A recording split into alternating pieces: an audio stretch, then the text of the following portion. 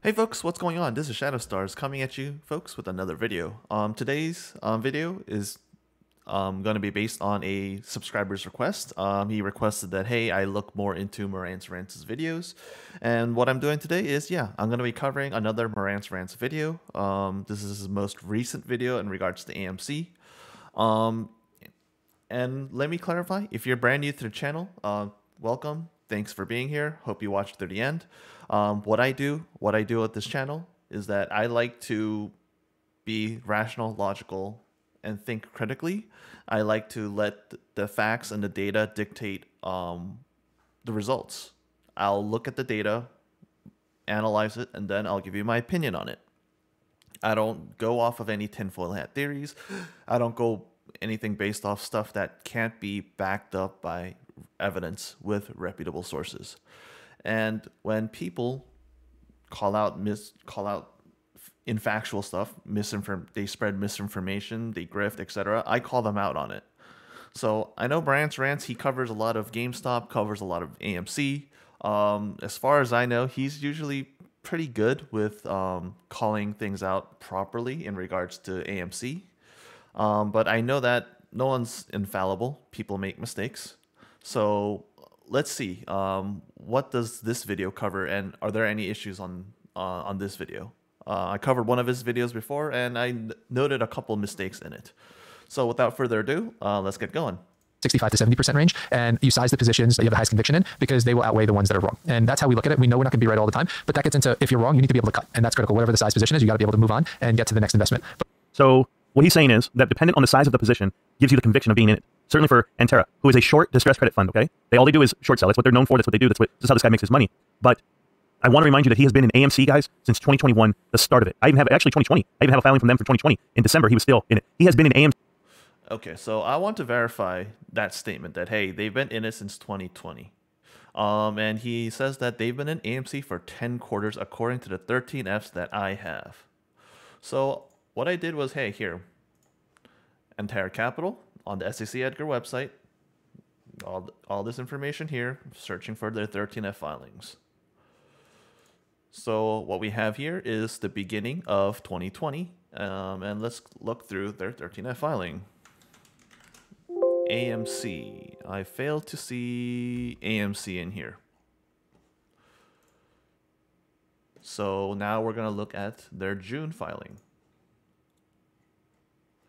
Okay, so starting from June, they have some options here. They got some calls, they got some puts. Okay.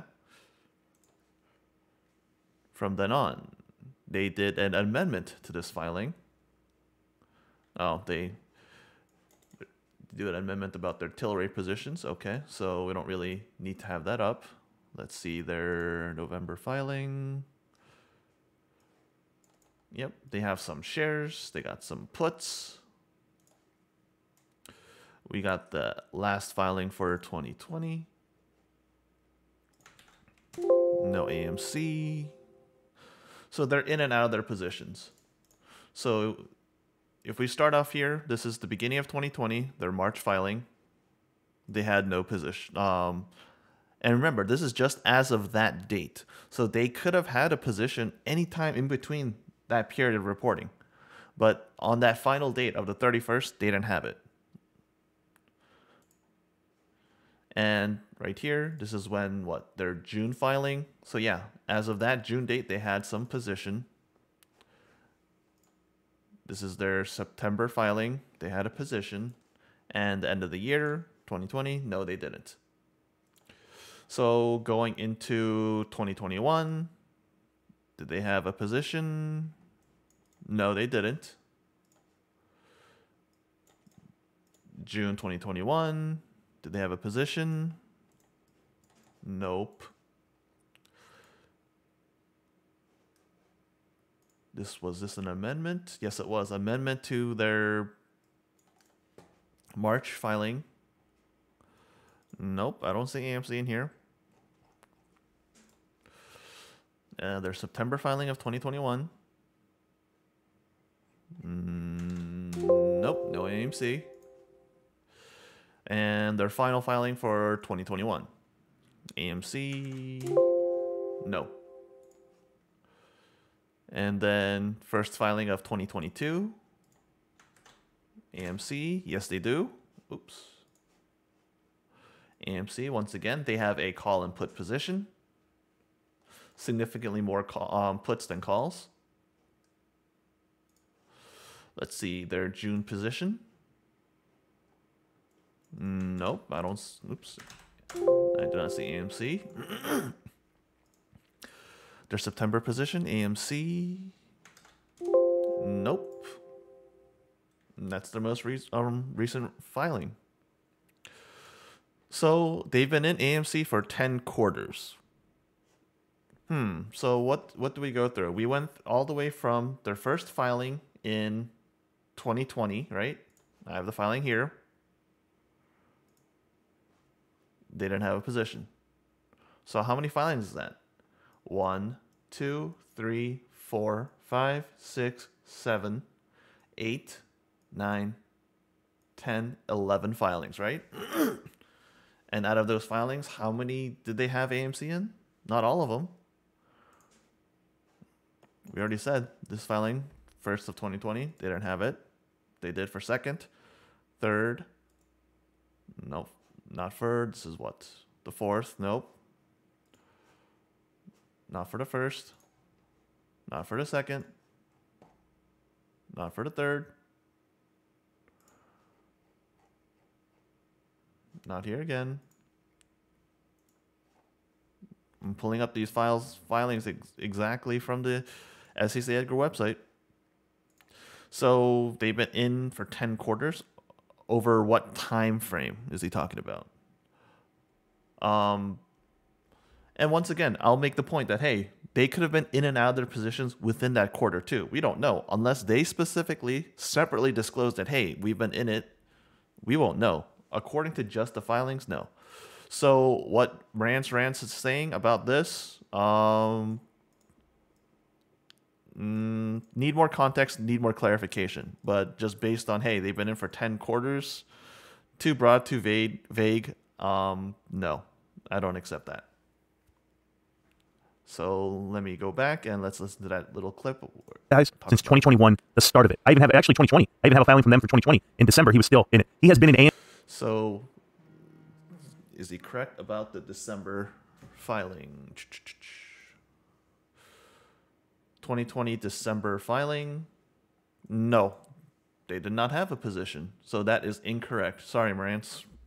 MC for three years. And he has now, in turn, not only shorted the stock all the way down to the ground, went long on the other side of it, up to 22% of their company, of AMC, the company, but how much of his assets under management is he willing to risk on this trade? You're about to find out. But I'm a true believer that it's all about position sizing. And now that we talk about assets under management, that's something I want to take a quick look at. So let's see.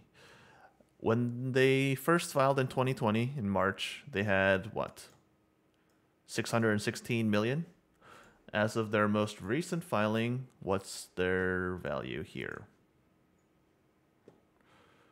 Significantly greater. Now, I don't take this whole um, table value. I don't take this um, too seriously. Um, you'll definitely see fluctuations as obviously firms can make money and lose money, but also I mean, all comes down to a are they willing to deploy more capital? I mean, all these firms they have their own trading strategies, their own type of um, guidelines of when to deploy their capital, when not to, when they're going to return money back, um, give money back to like dividends and stuff or perks back to the folks who have invested into their company and st-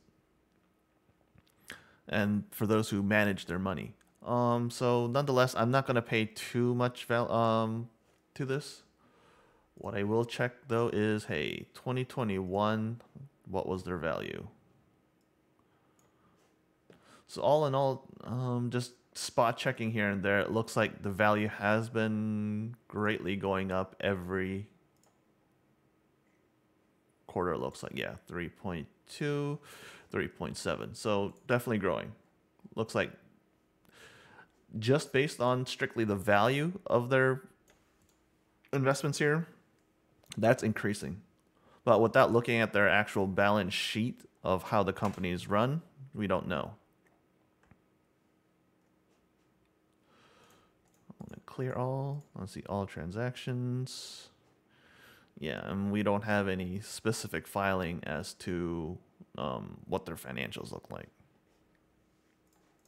And getting that correct, and that's how you generate alpha. So that's an interesting segue to sort of how we got to know each other as a firm, which I think is interesting and, and, we're talking about a little bit. The big driver of our conviction in investing with you was following individual trades with you. It wasn't just that the trade was right. One of the things I saw there was the trade construction was a really important part of what you do. You want to talk about how you think about structuring those? Yeah, I think it actually comes from, let's talk a little bit about the background and how you get to that point. I feel like I almost had two careers prior to uh, launching Antara. I worked at Perry, which was very fundamental in training, and then I worked at Man Group, where it was a lot more rigorous in terms of risk and risk management and structuring. And that's where I think when you combine the two of those, it can be very powerful in terms of generating returns and alpha. So for me, structuring is one of the most important things about what we do at Antara. And the reason is everybody can look at the same information. Everybody can look at the same trade. It could be a spin. It could be a takeout. But what we've done very well is take the same information about an investment and really generate outsized returns and mitigate downside. So the way we think about it is when you look at a company, the first thing most people do is, example, is a spin on a, stock. You go long one, short the other. That's it. We take it to the next step and we say, okay, well, do we, don't we look at the vol? Why don't we look at the options, look at the options markets? Let's look at other parts of the cap structure. So we spend a lot of time thinking about how we can, and this gets back to the sizing point. We don't want to just put a trade on to have a one, 2% position. We'd rather size it to have a more meaningful impact, but you need to structure downside protection and have that hopefully asymmetric upside as well. So that so what that describes, just so you guys are aware, he's painting out the picture of how they structure their position, as in how they hedge their position. Most people could just hedge, i.e., you go long, we go short, or you go short, we go long, just to hedge it, just so that it doesn't run away from you. So you don't get caught with your pants down,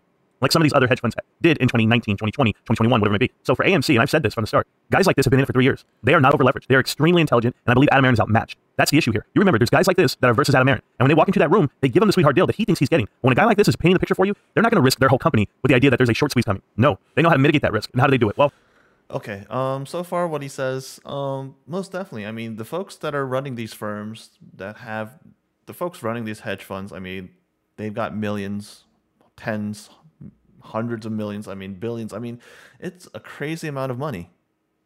So obviously, they're not dumb. I mean, a lot of the folks that are working for these firms. I mean, the analysts, the traders, and so forth. I mean, these are well-educated folks with more than just your bachelor's degree, usually some sort of master's. They might have people that they're consulting with that have PhDs. I mean, they're smart folks. They know what they're doing. That doesn't mean that they're always correct because you'll look at, hey, people that they're constantly training, no one has a 100% win record. There always there will always be times where they're there'll be times that they're wrong. No one is 100% correct. You're you're human something that you didn't account for, something you didn't calculate, something you didn't expect, some event you never expected can happen. So that's when you can be wrong. But nonetheless, I mean, yeah, a lot of folks, they're not doing just one side of a trade. They're looking at both upside, downside, yeah, and they're always doing risk mitigation. More successful firms will be able to take on more risk, but know that, hey, how do I protect myself? They do those probability calculations and all that. Um, to assume that hey, um, Adam Aron is outmatched, um, that's his speculation. I can't say I I um I would agree with it. But on the flip side, I can't say Rant is completely wrong either. Um, either way, I mean, you'd hope that hey, when you're running a company, um, when you're looking to make a deal like this, you're doing your due diligence. You're looking at, hey, who's if they want to invest in your company, you want to you want to understand, hey, why are they doing this? What do they offer us? I mean, you're doing your due diligence. You're looking into it, you're researching it. Now, could the people that um, Antara Capital, Himanshu Gulati, could this guy be hiring smarter folks, more educated people with more experience? Than um, the people that AMC is um, hiring and contracting and whatnot. That's certainly possible. Flip side, does AMC have connections? Does Adam Aron have connections? That could be possible. Nonetheless, that's just this is pure speculation. The one thing that um, I think that should be covered is perhaps rather than being outmaneuvered, this was the only deal that was available. That's the stance that I would more think about when you have no deal at the table besides this one, what do you choose to do? When your company is burning millions of millions of dollars every quarter, you got massive cash burn. You see the big pile mountain load of debt that you have and the pay, the interest payments that you, you need to make. You don't have positive cash flow. So you're waiting for the box off the movie industry to recover from the down um, the down period due to COVID, you need to buy time. And if no one else is offering you a deal, but hey, this one group, this one place is offering you a deal, and they're the only lifeline you can grab onto, hey, maybe it's a bad deal. You're selling a large portion of your company away to them, but hey, if that allows you to survive, that's the deal you got to take. As opposed to, hey, if you get no infusion of capital, you might declare bankruptcy. You might just go down much sooner than later. So you're buying time in hopes. It's almost like a Hail Mary. You're thinking that, hey, things aren't looking good. We need more money to survive. We need we need some extra time. You're praying that hey, some sort of Hail Mary will come through. That's the stance I would I would take. Oh, we'll go ahead and hear this part out. That's a big part of what we do, and I think a differentiating factor. More legs onto a trade. There are more things that can go wrong, even if your original in- Wrong, and that's how we, even from structuring on an equity position, we'll buy puts against that. And I also 10 years, and it's a big part of what we do. The way we think about it is, you really Showed you the, the transactions of it. I showed you how they had it. You guys don't remember it was here. Um, I'll show it to you on the screen really quick and see if it's ready to go. Well, that's his ugly face. Um, let's go here. You know, no edits, no cuts. I'm, I'm a busy man. Hey, how you doing, ugly guy? So this is Antara. And when you look at Antara, I actually had the 13F filings ready to go. These guys have committed themselves, and I'm moving you out of the screen way over here. Um, and I'll show you right here. So it's going to show you their average position, the time held is going to be two points. Yeah, so it looks like he's using whale wisdom. Um, personally, I don't like using any of these websites. Um, sure, it a lot of these sites are able to display this information, but a lot of the times these free websites they don't do the proper research. They don't always be they're not always checking through all the filings. I mean, it's I'm guessing it's all a lot of them are just computerized to the point where hey, you get these filings, you get these um, fields, combine them, display it all together, yada yada yada, and that's where a lot of mistakes are often seen. So I'll be I'll make a generalization that I don't like sites like this, Fintel, Whale Wisdom, Holdings, etc. I don't like those sites, and I'd prefer to just hey, it takes more time, but guess what? I want to get the direct source of data. So I'll go through, I'll pull up all the 13F filings from the SEC Edgar website.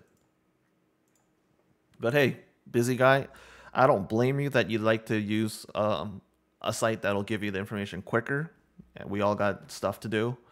But for me, hey, I'd like to be more confident in what I'm saying. Six quarters. They turn and burn faster than ever. They don't hold things long. They hold it almost three quarters on average. They have been holding AMC for 14 quarters. Like they literally know this company's going nowhere. And they That right there, I'm guessing you're stating that, hey, they've been holding for the past three plus years.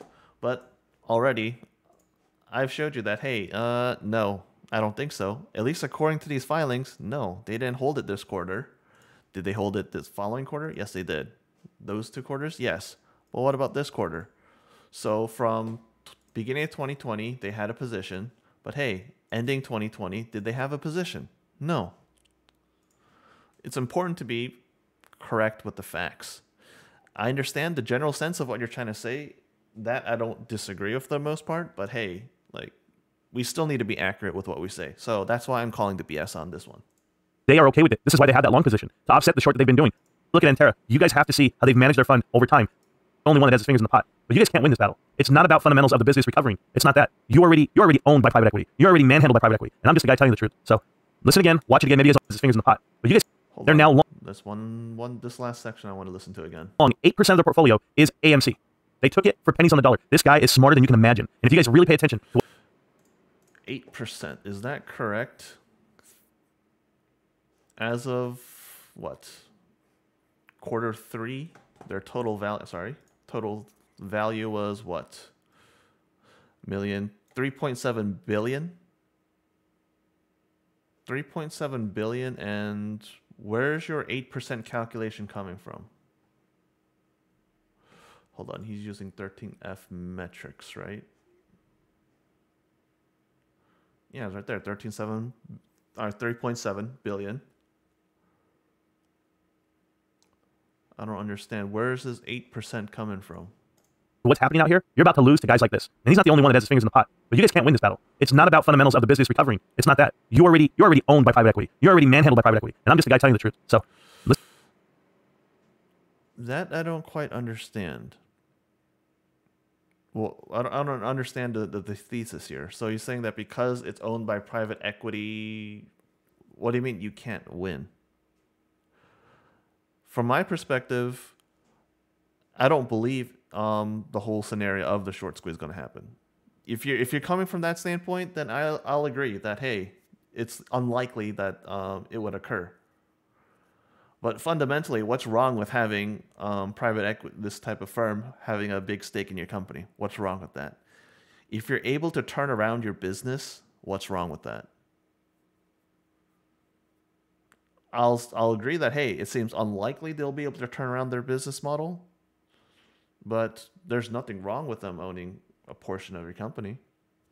I, I don't understand this this point that he's trying to make. listen again, watch it again, maybe you guys understand it again. But these guys are winning, and there's no beating them. I'm sorry. You're not going to beat them with AMC. You're just not. There's nothing to beat. If you invest in a company, you buy them when the market values them at under if it's undervalued, and if the market later on turns around values them higher. If you bought in low and you sell high, you've you've made profit. You've won. So I don't understand this point. Um, if he's talking about, hey, um, you're gonna squeeze, you're gonna give it to the hedge funds, that point I'll agree. Um, it's very unlikely that hey, you'll be able to beat out these firms like they have billions of dollars, millions and billions of dollars of funds that they're managing, that they're investing, and for you for you to show them massive losses, that seems very unlikely as a simple retail trader, unless you have a lot of capital, unless you know uh, you have a large group of people with a large um, sum of money that you can trade with. But uh, yeah, that's just going to be my um, video on Marantz Rantz. This um, his most recent video. Um, he has some mistakes that he um, misinformation that he talks about. Um, the overall sense of it, um, the overall tone of it, I'll agree. But yeah, you still need to be accurate with the stuff that you're you're, you're talking about. So I might start doing like little grades. Kind of give a grade of hey, what's this person um, saying? Are they correct? Are they wrong? Um, kind of just do like a regular, let's say school grading, A through A through D. What was this performance? Um, maybe I'll do a little criteria, do a little rubric of a hey, what I deem, what you need to do to do a, a great video in terms of the information that you're stating. Um, are your are your are your statements um, based on facts? Are they supported? Do you show your sources? Um, does the reasoning is there logic behind it? Does it make sense? Stuff like that. Maybe I'll do that in, um, in future videos. I got a couple other things that I'm brainstorming of stuff that I'll do in my videos. Um, I was talking on a live stream. Um, I think what two days ago. Uh, I was talking about hey, I want to do a, a little buzzard thing um, with a bullshit counter, um, kind of like um, there's a YouTube channel I used to watch called Cinema Sins, and they used to do hey, if there's an issue with something in the in the movie, then hey, they do it like a bullshit counter and they ding it. So similar to that, I kind of got that idea off of that. Um, I kind of want to do a bullshit counter for people who make videos. Um, not just on AMC, I mean, because I'm eventually going to be um, branching out into other stuff. But for now, I mean, this is something that I know well about, something that I've researched and spent a lot of time with, and stuff that I've been. Um, it's something that I've been calling bullshit on, on a lot of people grifting off the movement. Um, I don't. I wouldn't really classify Marantz as a grifter. Um, he calls out um, a lot of um, same stuff that I would do, but I think he embellishes stuff a little bit more. Um, he has certainly a lot more negative connotation, a lot more negative tone, and the information that he um, spreads. The overall gist of it is correct, but there's definitely details that he gets wrong. Um, and I wish he would correct that. So my video, if I do off the fly grading, I'd say, hey, I'll give you a B, B minus. Most of the stuff, hey, relevant, but you do have some points that are not correct. And that's probably where I'm gonna edit. Actually, you know what? Um, should I do one other thing? Hold on. Let me let me pull up box office figures here for you folks. Give you a quick update in what's going on. So, box office mojo looking like ooh Friday, Saturday, Sunday, looking like some pretty strong days. Um, so it looks like this first weekend wasn't too bad. Um, if I pull up the my spreadsheet here, I did the update for the month. They're at 214 mil. Um, so they're more than halfway of what um, it was for January 2022. 55% versus Q1 January of 2022. And we're just one week in. So that's definitely good news. Um, but once again, remember that hey, the the more the most important part is really their their margins, their profit margins. Yeah, sure, you have this admission revenue, but of that, how much is actual profit? How much of their profit is the total domestic gross? That's something important to understand. Right now, they're definitely on the right trend. Looks like they needed to average about 14 to 12, anywhere from 12 to 14 uh, million a day. Um, they're well on their way so far. We'll just have to see what the other releases do. Um, looks like Megan had a strong, um, strong first day. It, I mean, it beat Avatar for that for that first day on Friday. But we'll just have to see how it continues to hold. See how costs um, impact the theaters. Because remember, look at your profit margins. Where do your where do you, where does your profit come? Where does it come from? Sure, your revenue is significantly higher for your ticket sales, but hey, that's not all your that's not all profit. There's significant costs associated with that. It's your concession stands. So you need a lot of foot traffic. You need a lot of people coming in, spending more. So your average um, dollars spent per patron. That's an important figure to look at. What percentage of patrons coming in are spending food, um, spending money at the concession stands? How many people are buying sodas, popcorn, candy, etc.? That's the stuff you need to pay attention to. So far, attendance has not been very good. Uh, do I have it here? Your attendance is far below pre pandemic levels we'll have to see. Will that eventually recover? Because we'll see. Pre pandemic, 2018, 2019, you had attendance in the 90 million range. Around there, 80 to 90 million a quarter. That's for the year, but hey. But look, you're at 40 to 60 mil. You're still way below so yep, um, I'll end the video here. Um, I'm gonna try to keep all my videos under 30 minutes. Um, eventually, I try to keep it down, try to keep it around that 15 to 20 minute range. Something I'm gonna continue to push myself and work through. Um, but hey, if you like if you like the video, um, please hit the like. Um, got any questions, comments, concerns, stuff that you want me to rebut, to fact check me? Feel free. I'd love it. Leave them down below in the comments section below you got stuff that you want me to cover, leave them down in the comments. I'll do my best to cover them in um, future videos. And hey, I love it if you guys could share this video with folks. Share it with folks you think that need to see this information.